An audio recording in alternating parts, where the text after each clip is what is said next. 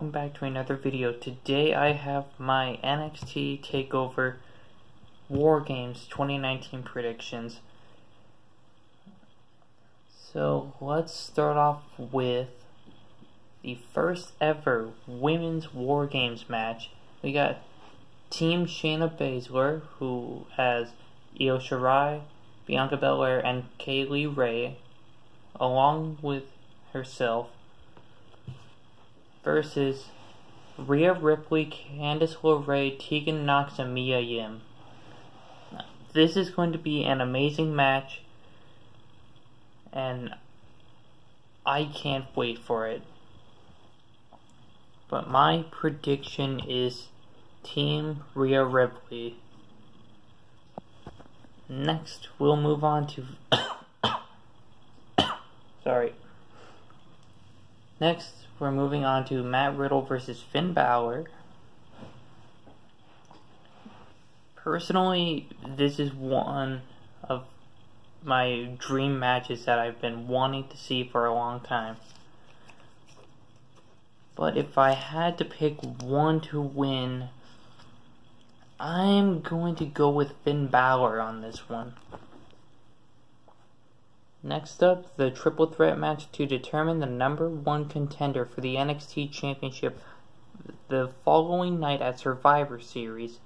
We got Pete Dunne, Damian Priest, and Killian Dain.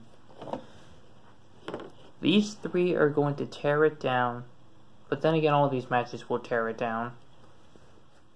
But my prediction is Pete Dunne to walk out as the winner.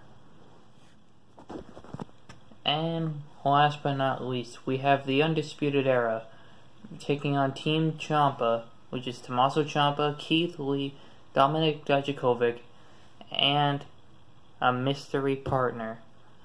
Now, I am not that great at guessing mystery partners, but I did hear that it was going to be a big surprise, so I am guessing it will be John Morrison.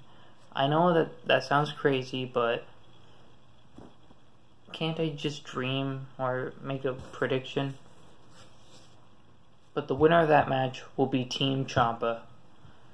and I'm not going to be doing my Survivor Series predictions just yet.